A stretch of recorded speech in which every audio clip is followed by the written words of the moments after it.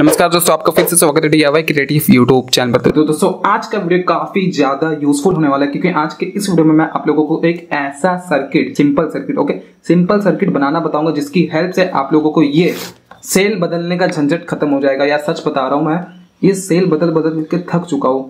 हर महीना मुझे माउस का सेल बदलना पड़ जाता है और इतना जमा हो चुका है यार। इसका एक मस्त जुगाड़ लेके आया हो, जिसको कि बनाकर आपको सेल बदलने का झंझट ही खत्म हो जाएगा। सो ये वीडियो काफ़ी यूजफुल होने वाला है, आप लोगों के लिए। सो मेक्स्योर की आप इस वीडियो को स्टार्टिंग से एंड तक देखना तो चलिए वीडियो स्टार्ट करते हैं। इनको फेंको। सो so गाइज़ इस मस्त जुगाड़ को बनाने के लिए हम लोगों को दो कंपोनेंट्स की ज़रूरत पड़ेगी। एक बैटरी एंड एक हमारा चार्जिंग मॉड्यूल आपको पता होगा ये चार्जिंग मॉड्यूल काफ़ी ज़्यादा फ़ेमस है। TP four zero five six charging module and यहाँ पर मैंने रजिस्टर क्यों लगाया, ये भी आपको इस वीडियो में पता चलेगा। शुरू से एंड तक इस वीडियो को ज़रूर से देखें, नहीं तो आधी अधूरी नॉलेज बहुत ही ज़्यादा खतरनाक होती है। ओके हमें ये चार्जिंग मॉड्यूल की ज़रूरत पड़ेगी एंड इस बैटरी की ज़रूरत पड़ेगी। अब यहाँ पर आप लोगों को बता दूँ, यहाँ पर मैं 200 मिली एम्पियर का बैटरी यूज़ कर रहा हूँ, जो कि छोटे साइज़ का है। आप लोगों को मैं कहूँगा छोटे ही बैटरी का यूज़ करें। छोटा बैटरी रहेगा तो बड़े ही आराम से रिमोट में आ जाएगा, किसी भी जगह पर आ जाएगा। सो so गाइज़ यहाँ पर आप देख पा रहे होंगे, ये हमारा बैटरी है, जो कि 200 मिली एम्पियर का है। ओके और ये रहा हमारा चार्जिंग मॉड्यूल जहाँ पर कि हम लोगों को थोड़ा सा मॉडिफिकेशन करना है। मॉडिफिकेशन क्या करना है? यहाँ पर जो आर थ्री रजिस्टर है, जो कि करंट लिमिट रजिस्टर है, इसको हटा के हम आर थ्री रजिस्टर को रिमूव करके हमें 4.7 के का रजिस्टर कुछ इस प्रकार से कनेक्ट कर लेना है। लेकिन आप लोग बैटरी 200 मिली एम्पियर का ही यूज़ करना। अगर आप लोग 4.7 के का रजिस्टर इधर लगा रहे हो तो अगर आप लोग 100 मिली एम्पियर का बैटरी यूज़ करोगे तो यहाँ पर आप लोगों को 10 के का रजिस्टर कनेक्ट करना पड़ेगा।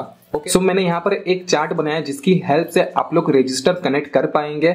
ये हमारा बैटरी वाला सेक्शन है और ये वाला हम ये सेक्शन हमारा रजिस्टर वाला सेक्शन है।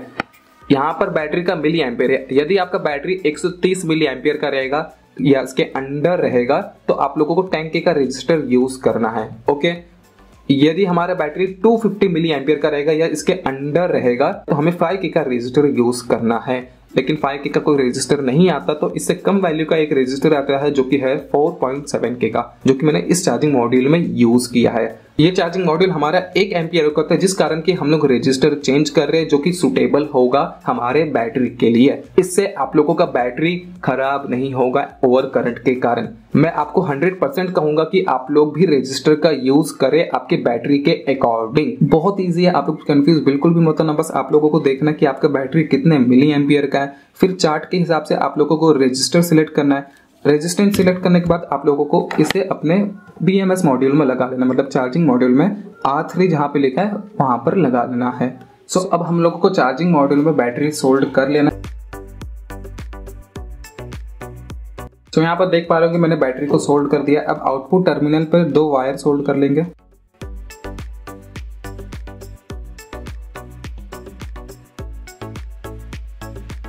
सो हमारा सर्किट कंप्लीट हो चुका है। सो देखा आपने कितना आसान था इस सर्किट को बनाना। अब यहाँ पर एक चीज़ आप लोगों को बता दू, इस सर्किट को उसी ही जगह पर यूज़ करिएगा जहाँ पर कि डबल सेल का यूज़ हो रहा है। जैसे कि आप इस सर्किट को रिमोट में यूज़ कर सकते हैं, क्योंकि रिमोट में डबल सेल का यूज़ होता है।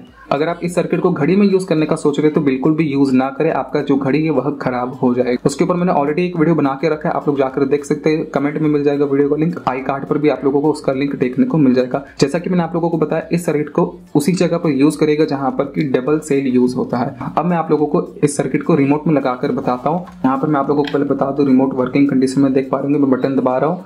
एलईडी ब्लिंक कर रहा है। ओके अब इसे निकालते हैं।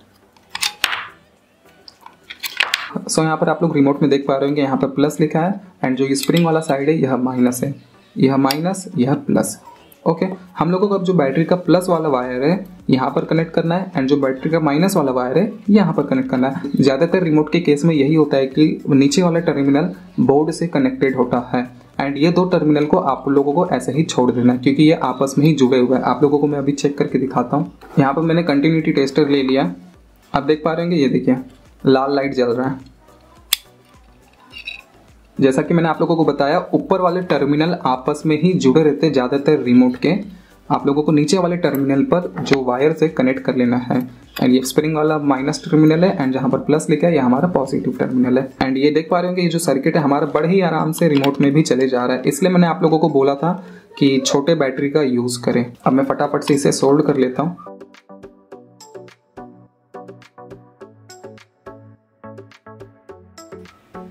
So as you can see कि गाइज़ हमारा रिमोट वर्क कर रहा है। सो so, जिनको नहीं पता उन लोगों को बता दू एलईडी ब्लिंक करता है इंफ्रारेड एलईडी ब्लिंक करता है जब बटन को प्रेस करते हैं।